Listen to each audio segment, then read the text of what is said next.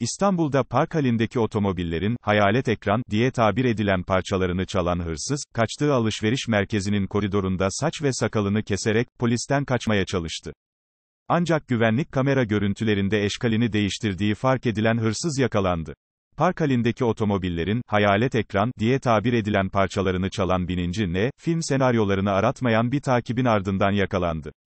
Şüphelinin hırsızlığı gerçekleştirdiği otomobilin sahibinin gelmesi üzerine yakındaki alışveriş merkezi içine kaçtığı belirtildi.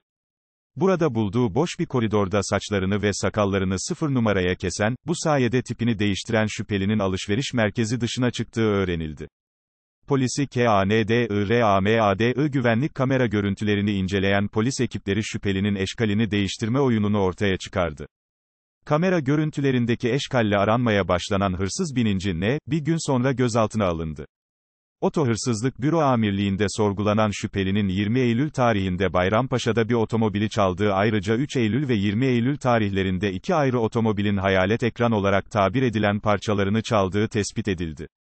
Şüpheli polisteki işlemlerinin tamamlanmasının ardından adliyeye sevk edildi. Hayalet ekran nedir hayalet ekran, araçların kadranını anlık olarak camlara yansıtan sistemdir. Hayalet ekran sayesinde kişileri gözlerini yoldan ayırmadan, araç gösterge panelini cam üzerinden takip edebiliyor.